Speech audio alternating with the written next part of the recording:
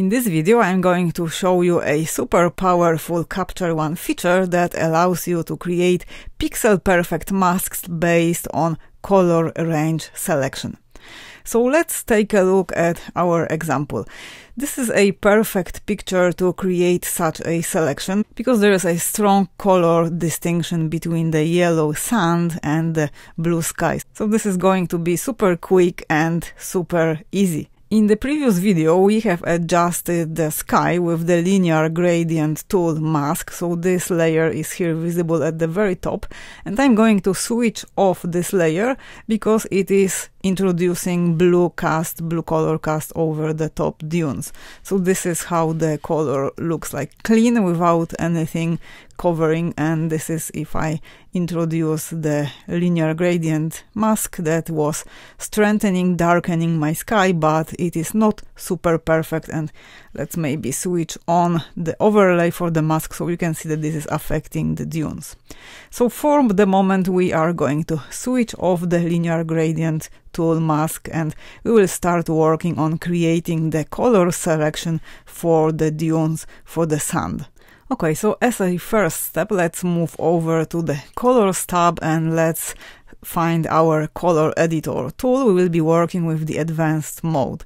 Let's select a layer that is visible because the one that is at the very top is switched off. Let's hide the mask overlay. So I hit M on the keyboard and now we are ready to sample the color range within the yellow sand. So let's find the picker and let's click somewhere inside the yellow tones.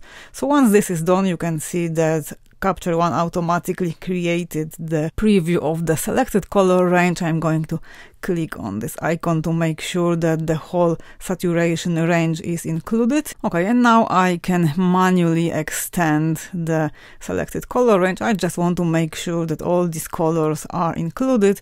I just need to be cautious here and not to enter into the blues.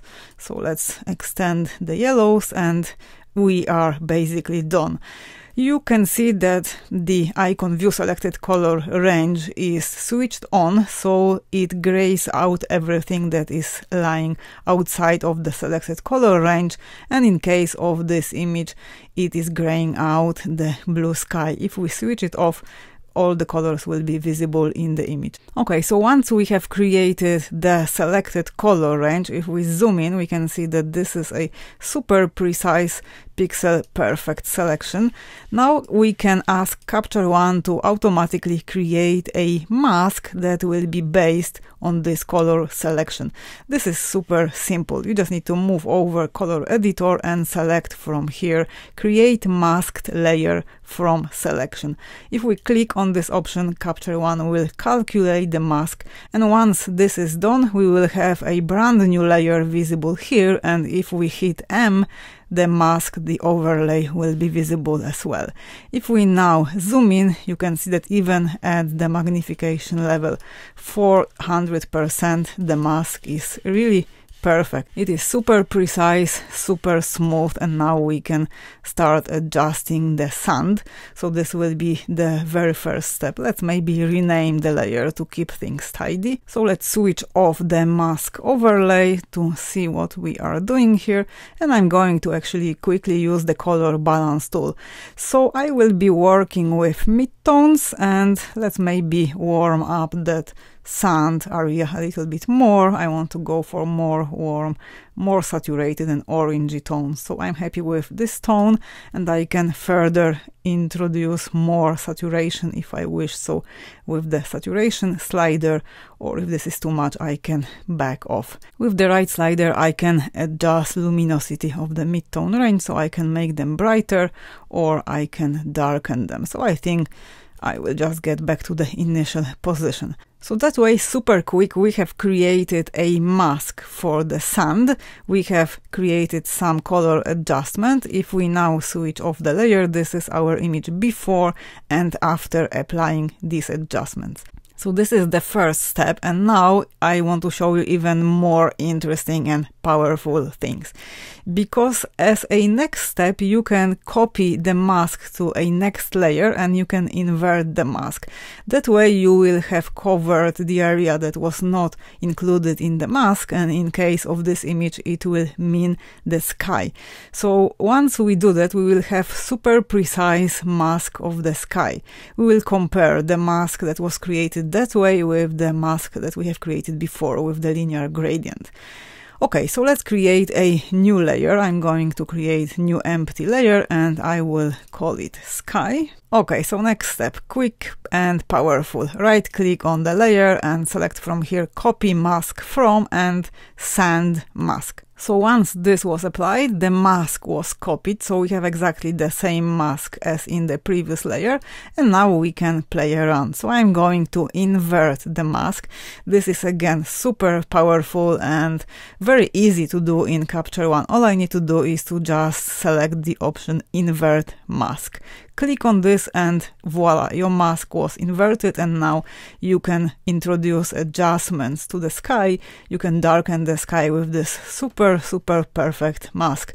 If I zoom in, you can see how nicely it blends with the rest of the image.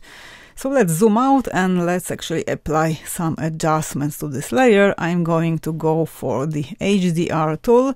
So I will reduce the value for the highlights. So I will recover some detail in the sky and either with the white balance tool or maybe the color balance, I can go for deeper, bluer tone for my image. If I would like to fine tune the color, I can of course go to the color balance tool and here I can maybe introduce a little bit more of cyans to balance out with the rest of the image. And don't forget that once you have those masks on the layers, you can still fine tune them. You can still work with the brush if you would like to modify the mask. And if you find that this effect is too strong, and it certainly is, you can reduce opacity of this layer. So you can move over and work with the opacity slider to maybe go for a bit more subtle effect. Okay, so in this clip I have shown you how to create a mask from a selected color range. You have learned how to copy that mask to a different layer, how to invert the mask and how to apply selected adjustments to that very layer through the mask. So now we are ready to move over to the next video where we will cover Luma masking. Super powerful and super interesting. See you in the next clip.